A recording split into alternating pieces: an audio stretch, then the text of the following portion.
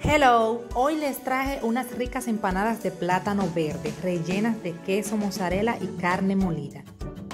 Tienen un sabor bien intenso, saben como a patacón, son muy ricas. Acompáñame a hacer estas crujientes empanadas paso a paso. Primero que vamos a hacer es poner a hervir nuestros plátanos verdes con un poco de sal. Yo puse 5 plátanos verdes, pero usted pone la cantidad que más le guste. Cuando ya los plátanos estén, les retiramos toda el agua y comenzamos a hacer nuestro mangú. Trate de triturarlo bien bien que no le queden grumos. Aquí estoy haciendo mi mangú con un vaso, que es lo que se me hace más fácil. Le estoy agregando una cucharada de mantequilla y también un poquito de ajo. Aquí tengo tres dientes de ajo. Usted le agrega la cantidad que usted quiera. Y seguimos pues, haciendo nuestro mangú. Cuando nuestro mangú ya esté bien suavecito, entonces vamos a proceder a hacerle la forma de empanadas. Y vamos a tomar nuestras bolsas que utilizamos para guardar alimentos. Vamos a poner una y vamos a engrasarnos las manos para tomar porciones de mangú. Aquí yo utilicé un cuarto taza. Este procedimiento de las manos las pone más suave y también nos ayuda que si hay un trocito de plátano lo sacamos.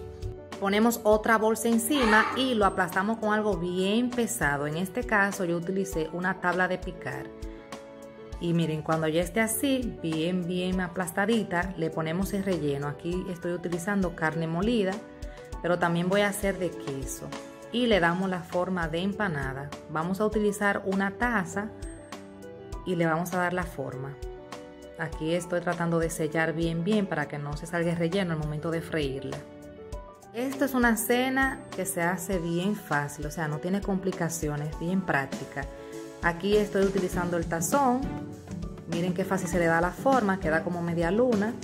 Y si le queda un poquito en los bordes, pues usted lo, lo quita. Pero así se hace muy fácil. Y yo digo cena porque tradicionalmente utilizamos los víveres para la cena o para el almuerzo.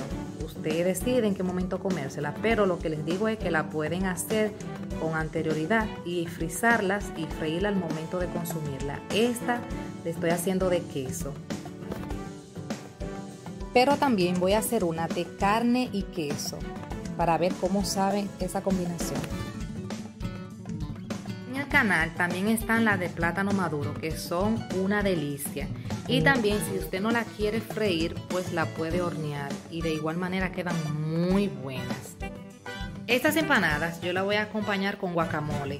El guacamole también está en el canal, por si usted también lo quiere acompañar con guacamole, pues ahí está. Y también lo puede acompañar con una salsa si así lo desea. En el canal le tengo la chimi y la de ajo. Hice en total 6 empanadas de plátano. Aquí le estoy afriendo en abundante aceite bien caliente. Asegúrese que esté caliente para que no se desbaraten ni se le enchumben de aceite.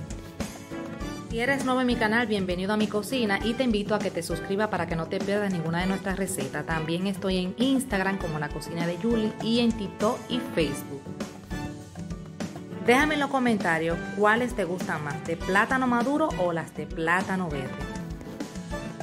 Espero que hayan disfrutado de esta rica receta y disfruten en familia. Nos vemos en un próximo video. Chao, chao.